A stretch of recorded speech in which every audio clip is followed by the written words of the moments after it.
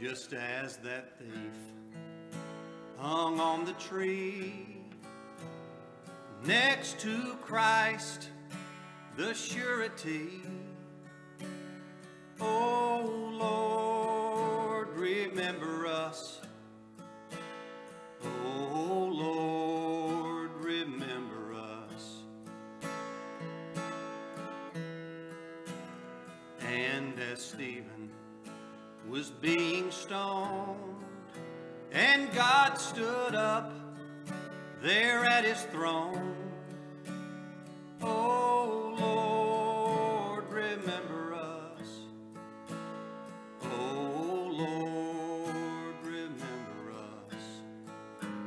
Some will stand before the throne, but some will stand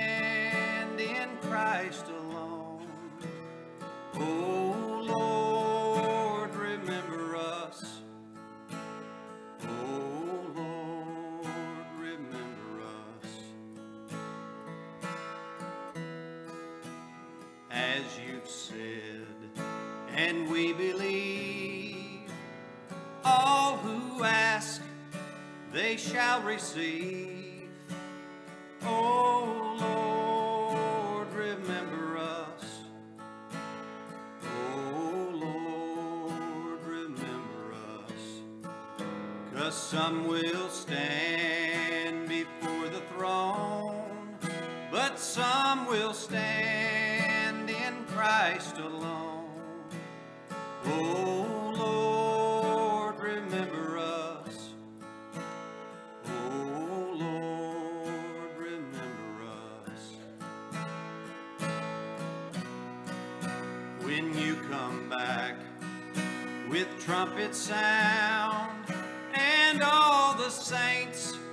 Rise from the ground. Oh Lord, remember us. Oh Lord, remember us. Cause some will stand before the throne, but some will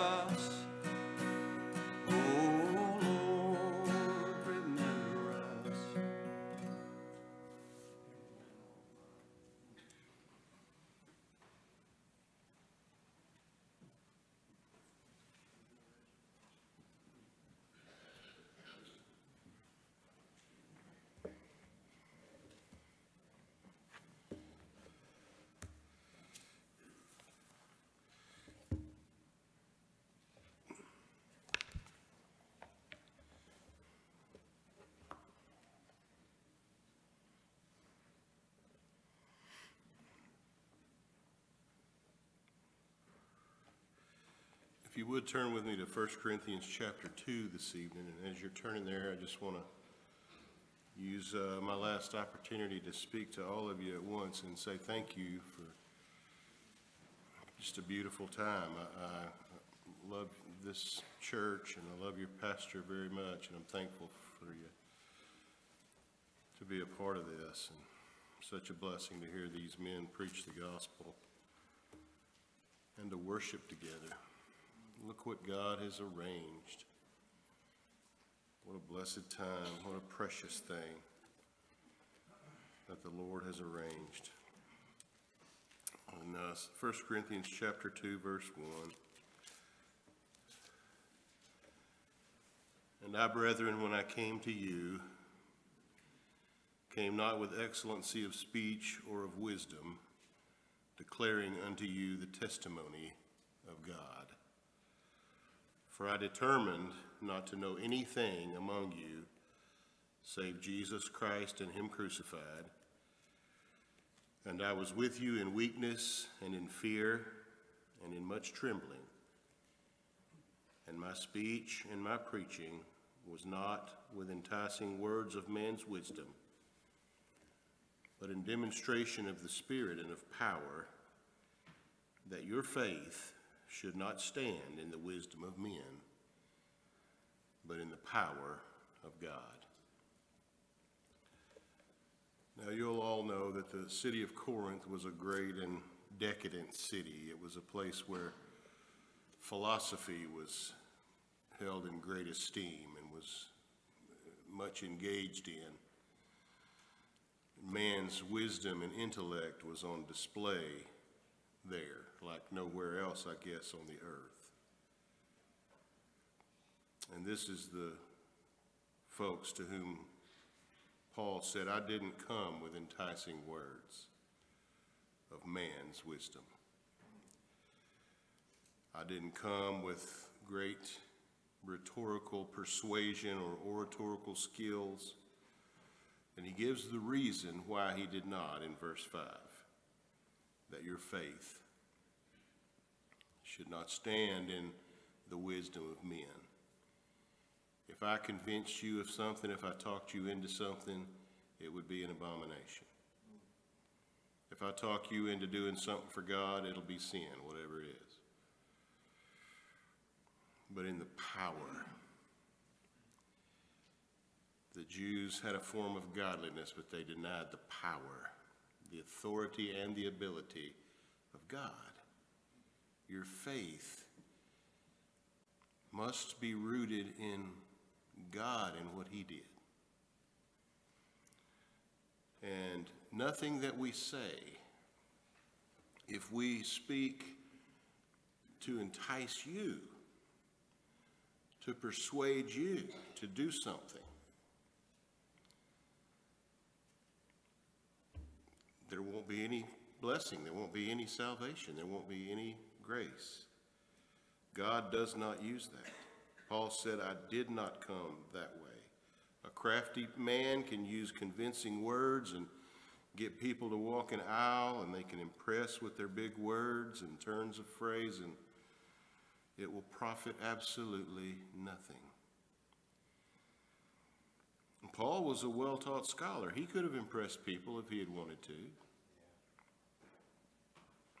He was uh, in the business of impressing the flesh, if that had been his purpose. But he said he determined to know nothing except that which the flesh has no interest in.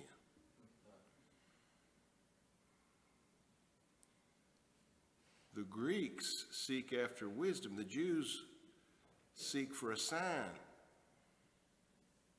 And we don't give them either one, but we give them both in another sense, right? Because the true power of God is the preaching of Christ. And the true miracle, You're looking for a miracle? Let's see if God has mercy on a sinner tonight. And we'll see the greatest miracle creating the universe was nothing compared to creating a, a, a, a clean spirit in a sinner. And that's the power of God. God, who commanded the light, who said, Let there be light, shines in hearts too. To give the light of the knowledge of his glory in the face of his Son. Jesus Christ and Him crucified, the flesh, like somebody said this, this morning, I believe, to, to this world and to the religion of this world. The preaching of Christ is boring. They're not interested. There's no excitement there. There's no, no beauty about that, that they should desire to hear of Him because to them there's no beauty in Him. We could generate more interest if that's what we wanted to do. We could fill this building and, and building 10 times this size. If that were our goal, and it is the goal of most of religion, all of religion. But what would we do with a building full of fleshly, religious, self righteous people? There'd be no worship. Christ wouldn't be glorified. Nobody would be saved. Turn with me to Galatians chapter 1, please. Verse 6.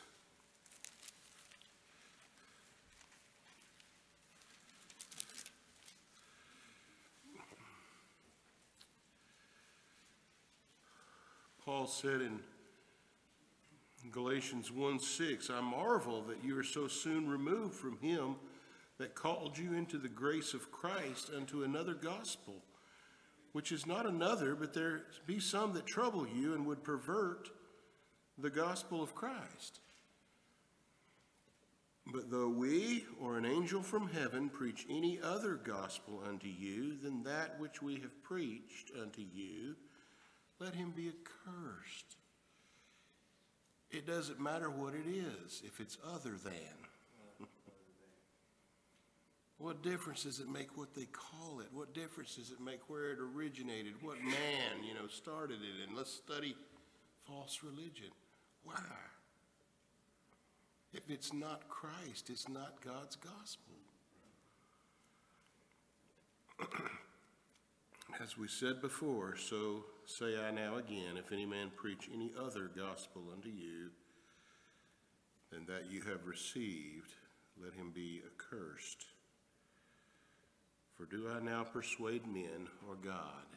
Now you think about that for a minute. Why didn't he use enticing words of man's wisdom?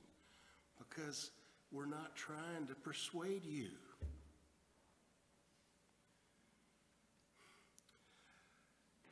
I want something for you very badly.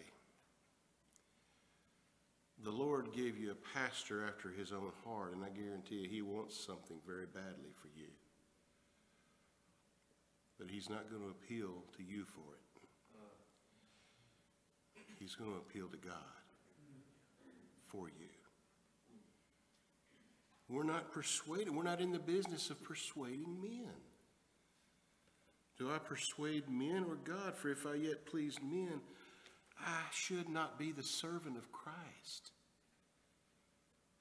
Is that what we are? Servants? Are we ambassadors for Jesus Christ? I couldn't convince you of your sin, no matter how persuasive I might be. I can't convince you how bad you are. I can't make you to know the Lord God, no matter how eloquently I might describe him and tell forth his glories. I can't. I can't reveal Christ to you, no matter how badly I may want to, or, how skilled an orator I may prove to be. But God, in one moment, with a single act of his will, in the time it takes to turn on a light, with a word from the throne of God now, a word that maybe you've heard all your life. You may have heard it a thousand times before, but without result. But if the Lord says the word, you'll know him. You'll hear his voice, and you'll know him, and you'll follow him. So you, we need to always be aware and conscious of what's happening here. This is not a man trying to persuade you to be something, do something, act a certain way.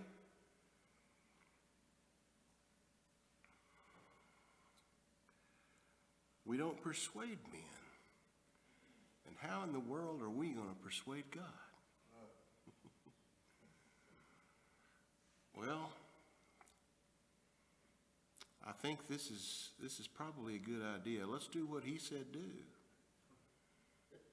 Let's, let's, do, let's say what he said he will use to save sinners.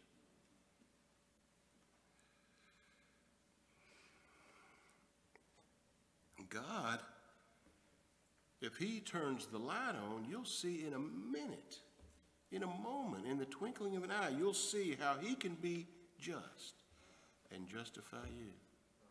I couldn't convince you of that in a, in a thousand lifetimes.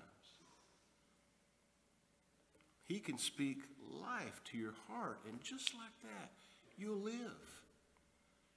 The time of love comes, and he passes by and says, Live. So, what I want to do, and I guarantee you what your pastors want to do, what these preachers want to do, we want to make it as plain as we possibly can. And when I say us make it plain, it's not that the Word of God is complicated and we have to break it down somehow or another. It's because we and you, we complicate things. The word is not, the gospel's not complicated. But we tend to want to add our ideas in there, or we th- think like most of religion does. If we just, if we say it a certain way, if we say, if, if we are convincing enough. Well, I don't want to be obscure. I want to be clear in the preaching. That's, you know, that's, I, I, I guess I speak for these fellas. The greatest compliment you can pay a, a preacher is to say, that was clear. That was so clear. If it's Christ, if it was clear nonsense, then it's just clear nonsense. But if it's the gospel, that was so clear. So, by God's grace, may we do what God has promised will result in the salvation of his people. I want you, by, by, by, by God's grace, I desire for you to know him. I love that sign back there. Sir, we would see Jesus. That's so simple and beautiful. I would see him. And I want you to see him too. Isn't that the way it is? He makes us like that, doesn't he? Come see a man that told me all things ever. Is not this the Christ? Is not this the Christ? What must happen is for God to do something for you that I cannot. As much as God has knit our hearts together and wants and puts the desire in our heart for you to know Him, and I want to know Him. After Paul knew Him for a long time, he said, Oh, that I may know Him. And you can't do it for yourself. So, what means has God revealed that He will use to bring this about? Paul gives it to us in our text, and we, we find it throughout God's Word. I determined not to know anything among you save Jesus Christ and what He did, what He accomplished, Him crucified. 1 Corinthians 1.23, we preach Christ crucified. Unto the Jews a stumbling block, and unto the Greeks foolishness, but unto them which are called, both Jews and Greeks, Christ, the power of God and the wisdom of God. Paul said in Romans 1.16, I'm not ashamed of the gospel of Christ. Though nobody much wants to hear it, who hath believed our report? Though it's not popular, it's despised in this world. But it's the power of God unto salvation to everyone that believeth, to the Jew first, and also to the Greek. Well, some say, well, Chris, there's a lot more in the Bible than Christ. You know, what else do you preach? Don't you preach on sin? We need, to, we need somebody that'll preach against sin. You're not ever going to know what sin is until you see Christ crucified. You're not going to have any idea. And if there is anything in your Bible besides Christ, then you've never understood a word of it.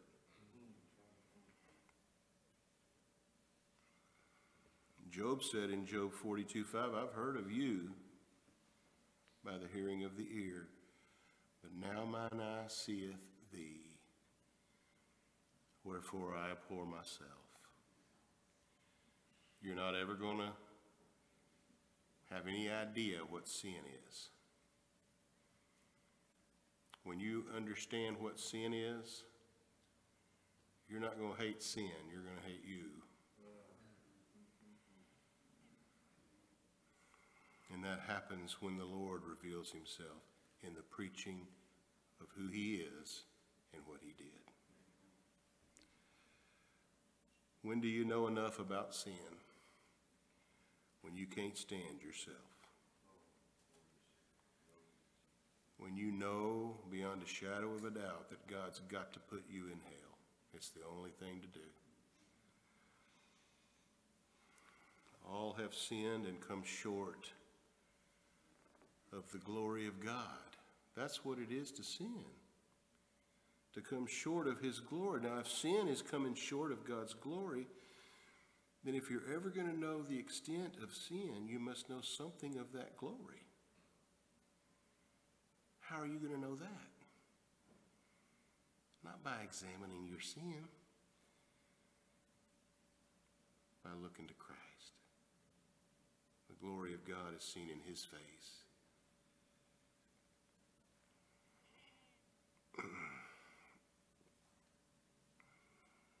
Don't you preach on hell? You gotta, you gotta warn people about hell. You wanna know what hell is?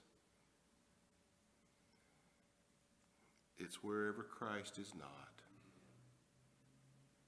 Can you think of a better, I've been thinking about that.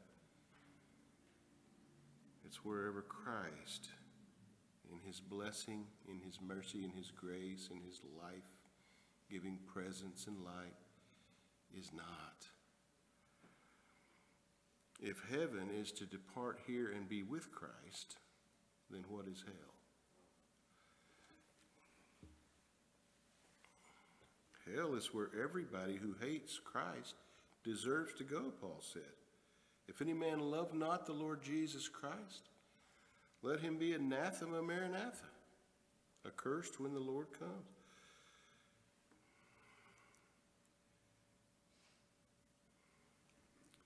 It's righteous, just punishment for crucifying the Lord Jesus Christ. Here's the condemnation that light came into the world. And we hated God's light and loved our sin. You want to know what hell is? Who is it that has the key to hell on his finger? The Lord Jesus Christ. You can't preach on hell without preaching Christ. Let's just preach Christ and we'll find out everything we need to know about hell. We determine to know nothing else.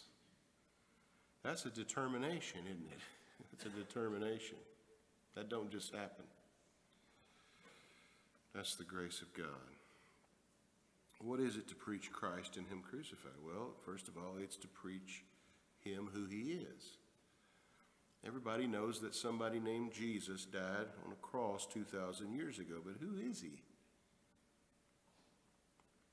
I've been, I was in religion for a, a long time as a teenager, for many, many years. And you know what their definition, the definition of the gospel, and this was asked a lot. What's the, def, what's the gospel?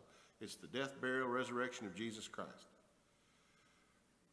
The only problem with that is which Christ are you talking about? There are many false Christs.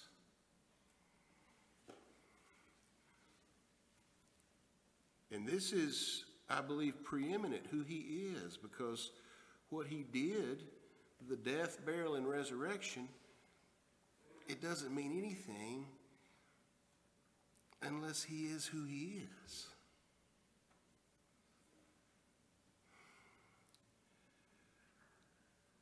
Think about this. He said he called, what was the name that the Lord, that, that Paul gave him? He could have said, we preach the Lord and him crucified. We preach God and his son crucified. We preach Christ, the anointed, the title of God's Messiah, Christ, the Christ. Every Jew knew that whoever the Christ is, is God in human flesh. They still know that, and most of them are still looking for him. We preach him. In John 10 24, the Jews said to the Lord, If thou be the Christ, tell us plainly. And he did tell them, and they took up stones to stone him, saying this, You being a man, make yourself God. That's the Christ. If you be the Christ, tell us plainly. And he told them, You're saying you're God. They knew what it was who the Christ was. They just despised him when he stood right there in their midst. He's the anointed Son of God, sent to honor the law of God and redeem his people. Paul said in Romans 8, no one can lay anything to the charge of God's elect for a specific reason. It is Christ that died. It's the, he's the Christ. The one who, because he died, those whom he died for stand uncondemnable in the sight of God. Because he died, because this Christ died, nobody in heaven, earth, or hell can lay a charge against me. Oh, that's who he is. God's anointed, exalted Son in human flesh, God, the fullness of the Godhead in a body. It's he who was prophesied by Isaiah when he said unto us, A child is born. Unto us a son is given. That's not God repeating himself. When that baby was born in a manger, God was giving us his son. And the government shall be upon his shoulder. What government? The government shall be, and his name shall be called Wonderful. Counselor. Do we call him wonderful? Wonderful. Counselor. The mighty God. The everlasting Father. The Prince of Peace. if you've seen me, he said, you've seen the Father. Now, this is of the utmost vital importance because if the Jesus of religion died to make salvation available to me and then leaves the deciding of the matter up to me, then I've got a problem because I'm dead. I'm dead in trespasses and sins. But if the mighty God shed his blood for me, then I'm redeemed. Who is he, Isaiah? He's the mighty God. That's who he is. That's who we preach. The one who saves whom he will, when he will, as it pleases him. Then who shall condemn me? It's Christ that died for me. He's the one who Isaiah describes in Isaiah 42 21. The Lord is well pleased for his righteousness' sake. He will magnify the law and make it honorable.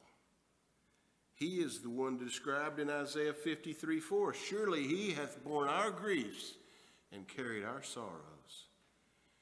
Yet we did esteem him stricken, smitten of God, and afflicted. But he was wounded for our transgressions. We preach him we preach the one that took our place on Calvary. And God's wrath was poured out upon our substitute and not us. He bore our griefs. He carried our sorrows. He was wounded for our transgressions. He was bruised for our iniquities. The chastisement of our peace was on him. And with his stripes, we're healed. We're not given an opportunity. We're not given a choice to make. Whoever he shed his blood, whoever stripes were laid on him, whoever he was bruised for their iniquities, they're healed. They're saved.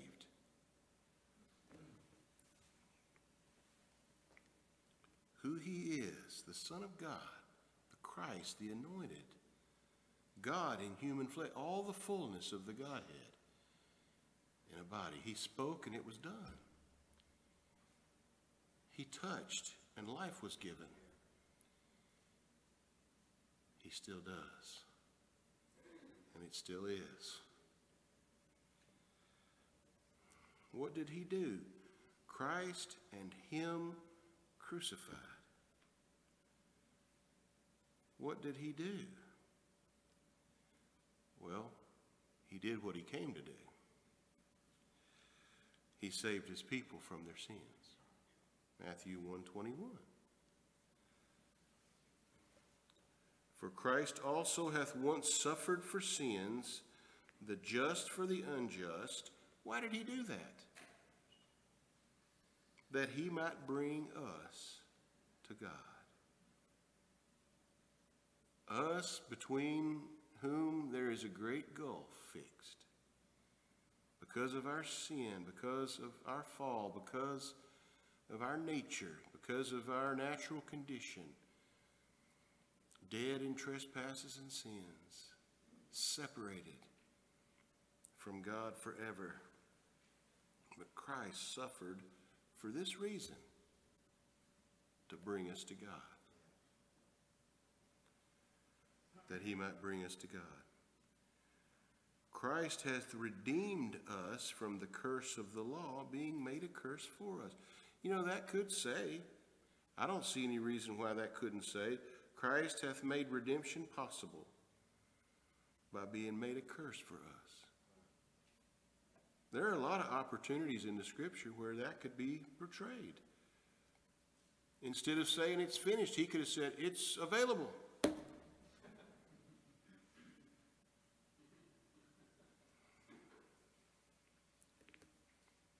Christ hath redeemed us. He accomplished it. It's done.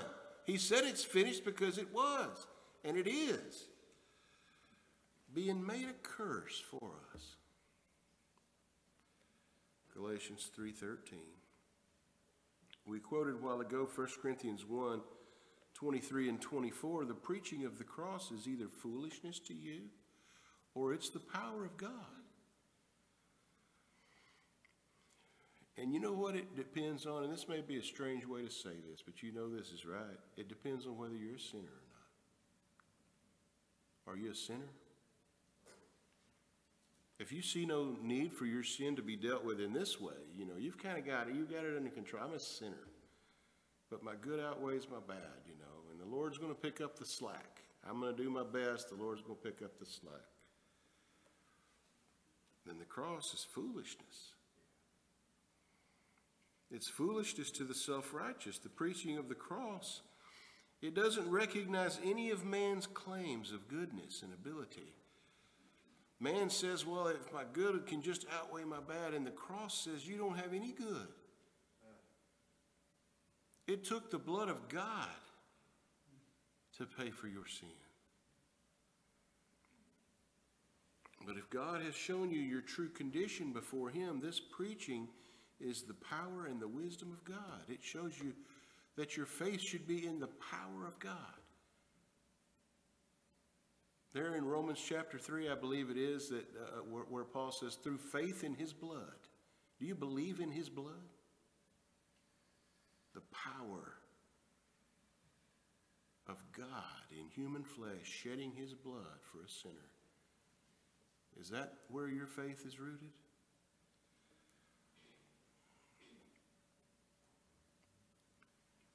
Power of God to put away sin, to bring in everlasting righteousness, as we read a minute ago, to be just and justify sinners like me.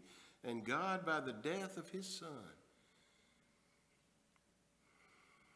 his Christ crucified is the wisdom of God, is the solution to the unsolvable dilemma, Darius's dilemma.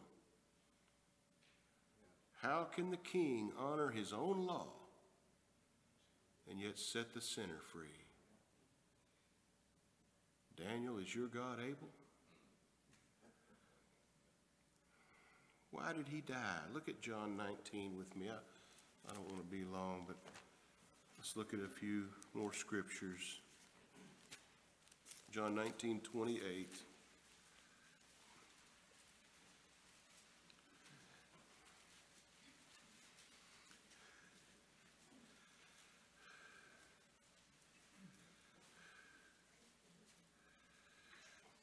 After this, Jesus, knowing that all things were now accomplished, that the scripture might be fulfilled,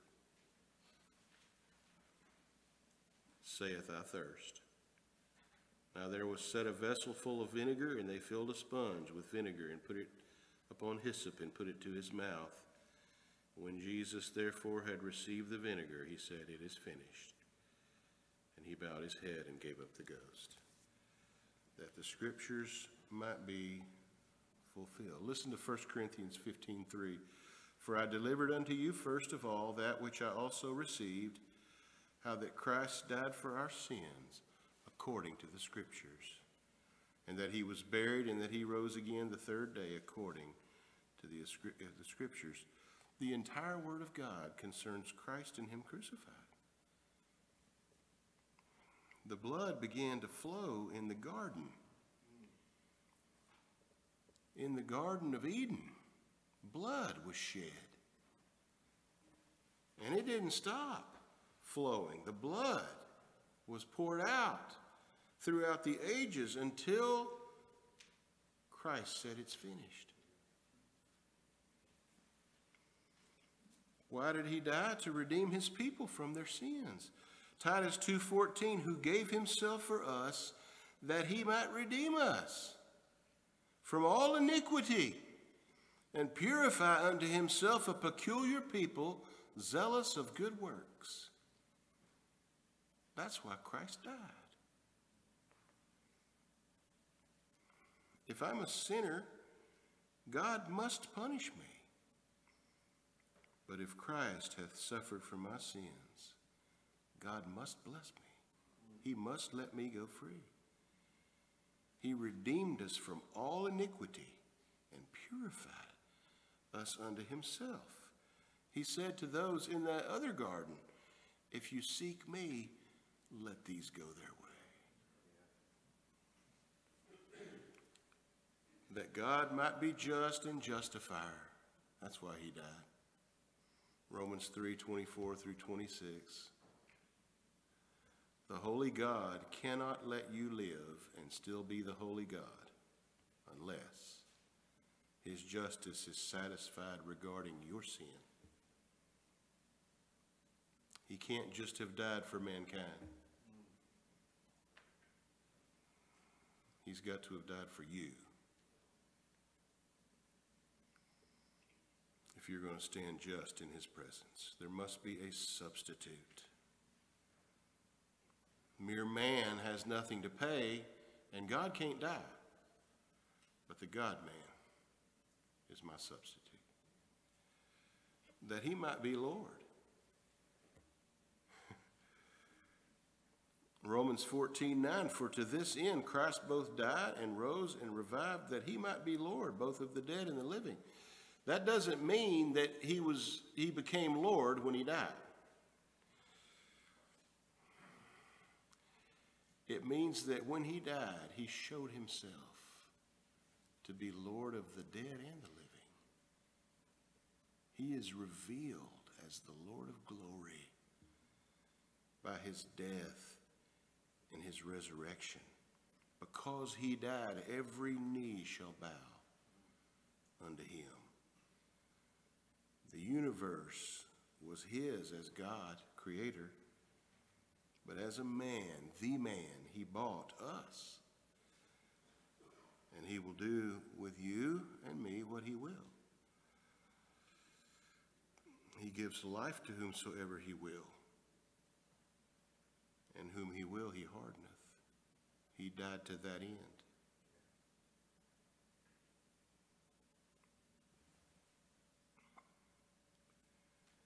and he died that he might have the preeminence. Look at Colossians 1.12.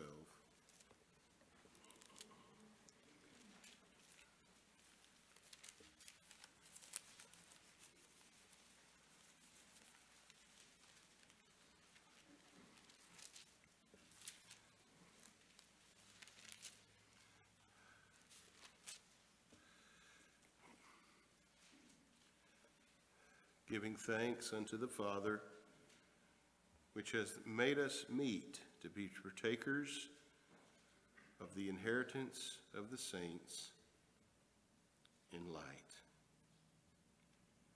What must I do to inherit eternal life? That's not something you do. That's something God makes you.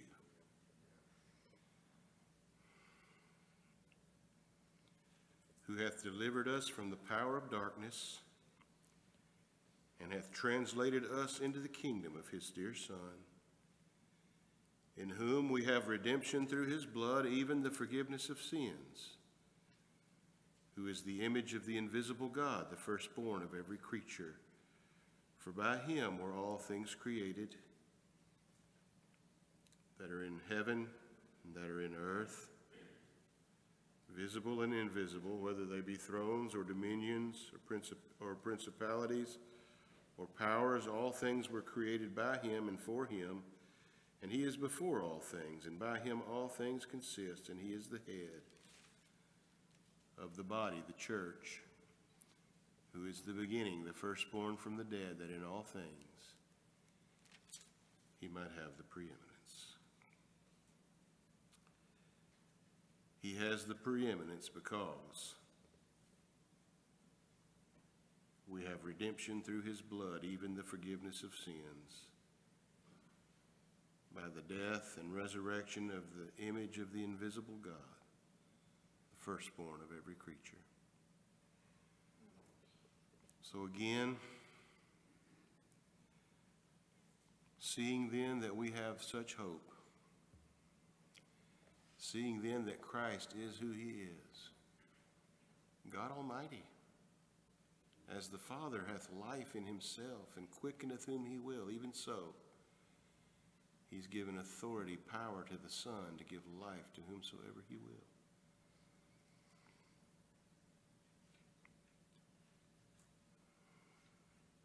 Seeing then that we have such vital hope, seeing then that we have such glorious hope, we use great plainness of speech. May God make it so. Amen.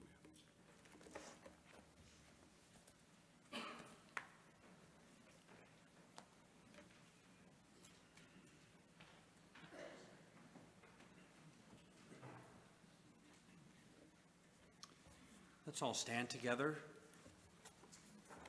And we'll sing number 62 from your hardback hymnal, number 62.